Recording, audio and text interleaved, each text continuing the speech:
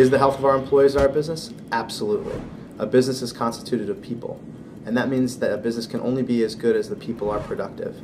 As such, at ClearSpring, we really believe in taking care of our people with a comfortable environment, flexible work hours, and in the event that they do need um, some additional health care, uh, healthy and competitive packages. So, if you want to have a successful business, take care of your people.